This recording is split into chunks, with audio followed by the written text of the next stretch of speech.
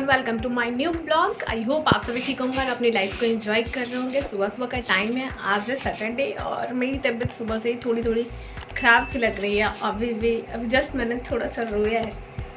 Just यूँ ही कुछ issues थे. तो मेरी आदत मैं बहुत, ऐसे बहुत ज़्यादा हंसती हूँ, लेकिन ऐसे बहुत रोती हूँ. मेरे घर में सब जानते हैं. यहाँ भी, मेरे मायके में भी मतलब ससुराल में भी, मायके में भी, दोनों जगह जानते हैं ये बहुत रोतलू है और सही बात है, मैं बहुत जल्दी ही थोड़ी थोड़ी बातों पर रो डालती हूँ। तो अभी भी कुछ ऐसी इशू हुई थी कि मैं रो गई, उसके बाद अभी मतलब जल्दी जल्दी खाना बनाना शुरू कर दिया, तबीयत ख़राब है, रात में भी खाना तो खाया नहीं था हम लोगों ने, आम पके हुए खाई थी मैं, लेके आए थे कल दीपू, मैं ही बहुत टाइम से बोल रही थी कि आम लेके आइएगा तो उन्होंने लाया था। तो अभी भी आम हैं, लाए थे जो पके हुए तो कल कल तो पहले तो दीपू बाबू ने बोला मैं खाऊँगी नहीं, खाऊँगा नहीं। उसके बाद वो खुद एक आम खा गए, और मैं तब तक बस एक साइड के एक पल्ले को खा रही थी, और वो पूरे आम को खा गए। तो फिर से एक आम काटा तो एक पल्ले को ही खाई मैं। वो बोले, फिर अब नहीं, अब अब हम नहीं खाएँगे। तो वो खा चुके थे। उसके बाद खा के वही आम खा के ही बस सो गई थी। तो इसलिए भी भूख लग गया जल्दी जल्दी तो अभी सुबह के ज़्यादा टाइम नहीं हो रहा, ज़्यादा क्या तो भी दस, साढ़े दस बज चुका है। और अभी मैं बना रही दाल भात भुजिया। करेला की भुजिया, बहुत टाइम बाद करेला है तो वो बन रहा है। तो फ़िलहाल अभी मैं बना रही हूँ और आम की चटनी आज भी बनाएँगे, क्योंकि उस दिन आम की चटनी अच्छी लगी थी तो और भी बनाने का मन कर रहा है तो अभी बना रही मैं। बाकी अगर आप मेरे चैनल पर नए हैं तो प्लीज़ इसका मैं चैनल वीडियो को अंत तक ज़रूर देखें और वीडियो को लाइक ज़रूर करें। तो चलो दिखाती हूँ मैं किचन में। तो मैं आ चुकी हूँ किचन और देख रहे हो करेला कल कल खरीद के लाए हैं, लेकिन सुबह तक ही करेले पक गए थे। बहुत अच्छा करेला नहीं निकला प्याज भी काट के रख चुकी हूँ मैं। और दाल बन गया है, मेरा चावल भी कुकर का सीटी लग गया तो उसको बंद कर दी। बस करेला की भुजिया बनानी बाकी है और दाम की चटनी के लिए मैंने आम काटा है। तो पानी में थोड़ी देर फूलने के लिए हूँ। बस भुजिया भून जाए, उसके बाद आम की चटनी बनाएँगे, है ना? भुजिया ऑलमोस्ट तैयार हो गया। मुझे लगा था बहुत ज़्यादा हो जाएगा, लेकिन ये तो बहुत थोड़ा सा हो गया, पर कोई नहीं, आज बहुत सारी मटेरियल बनने वाली है। अभी आम की चटनी बनेगी, फिर दीपू बाबू को खाना है, टमाटर की चटनी तो मैं सोच रही हूँ वो भी बना दूँ, फिर चिप्स छानूँगी तो बहुत सारे सामान बन जाएँगे तो कोई गल नहीं, हो जाएगा। तो फ़िलहाल बन गया ये ऑलमोस्ट बन ही गया, थोड़ी सी और बताऊँ। झटपट सारे खाने को बना दिया इधर मेरी चटनी। पता है सारी आम पिघल चुकी ये चटनी थी, आम वाली और इधर चावल, करेले की भुजिया सी हो गई एकदम। और ये धनिया पत्ता और टमाटर की चटनी, जो मैंने ग्लास में कूट के बनाया। और ये दाल। तो अब हम चले खाने फटाफट, है ना?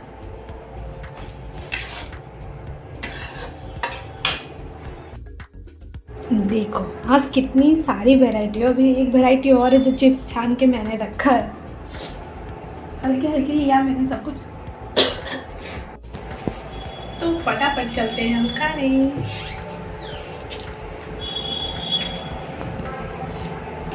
सो फ्रेंड्स शाम हो चुका है, सात बज चुके हैं और मतलब क्या बताऊँ, इतना गर्मी है कूलर पास में ही चल रहा है। और उसके बावजूद मतलब पसीने छूट रहे हैं मेरे।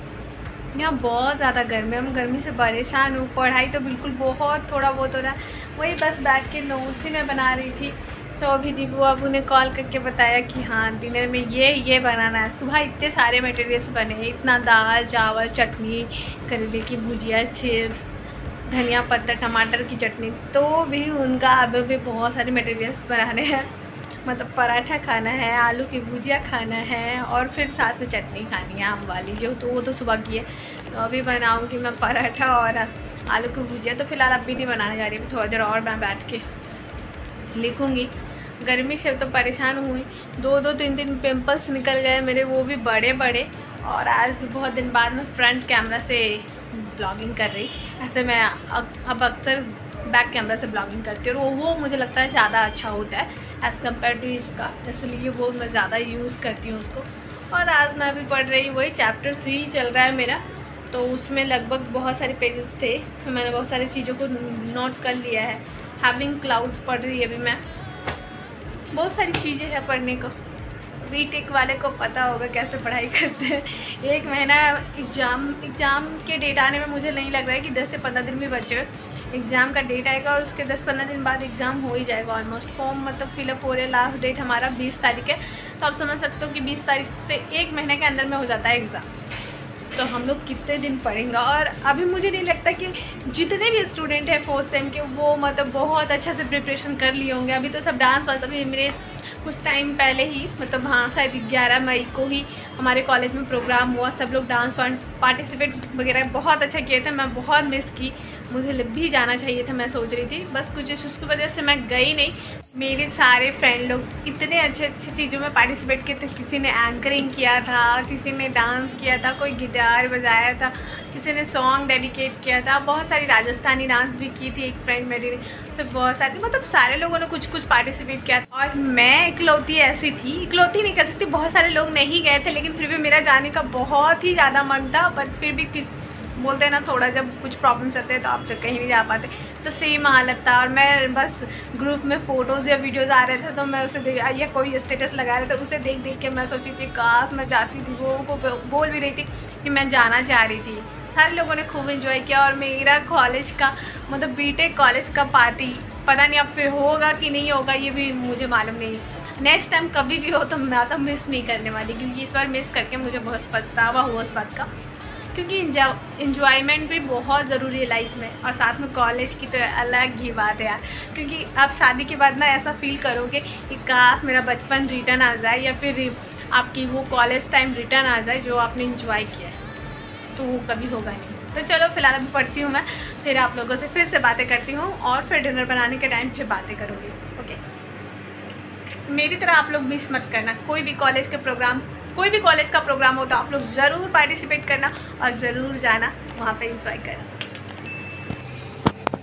जैसा कि आप सब देख रहे हो, मैं हूँ किचन में और गर्मी के मारे मेरा बुरा है, बुरा हाल। मैं बना चुकी हूँ भुजिया और पराठा तो दिखाती हूँ बहुत ही ज़्यादा गर्मी है। गर्मी गर्मी से परेशान हो गई है उतने देर में मैं भीग गई पूरा। चलो दिखाती ये रहा मेरा भुजिया और इधर पराठा।